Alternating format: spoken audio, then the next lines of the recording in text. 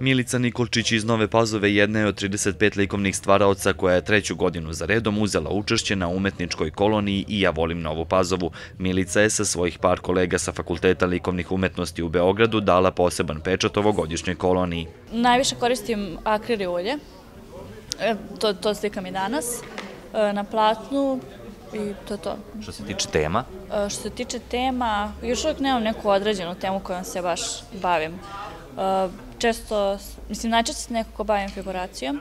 Duh Svetogorskog manastira na platno je preneo i Predrag Jović iz Rume, koji koristi ulje, akvarel i pastela i za sebe ima oko 400 likovnih kolonija u zemlji i inostranstvu i osam samostalnih izložbi, dok njegov atelje u porodičnoj kući krasi oko 500 slika.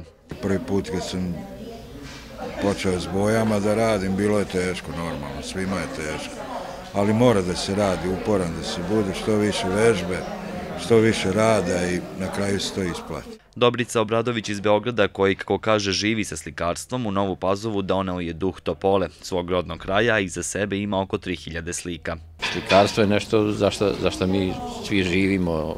Neko se muči dok slika, neko ovaj, radi lako. Meni je... Ovo, ovo je nešto novo što sam počeo da radim, ovo, to je kombinacija nekih uh, lepljivih masa i onda posle ulja ide preko toga, ovaj, to je nešto što, što malo daje rustičnost ovim slikama koje ja radim. Začetnik ove kolonije za koju se organizatori nadaju da će postati tradicionalna je Dragomir Bata Rudović. Slike nastale na ovogodišnjoj koloniji biće izložene ove subote u Galeriji Kulturno-poslovnog centra u Novoj Pazovi. Posebno smo ponosni na te mlade ljude koji nam se pridružuju, to ima puno, to je sto ili četvor sa Likovna akademija Fakultet likovne umetnosti Beograd, završen četvrta i peta godina i u našem udruženju ih ima, ovaj, pa smo jako ponosni što oni ovaj, žele da se pridruže cele ove naše priče i ideji. Nakon drugog svetskog rata Nova Pazova, koja danas broji oko 18.000 stanovnika, kompletno je promenila stanovništvo, pa su se tako u nju doselili kolonisti iz svih krajeva bivše Jugoslavije.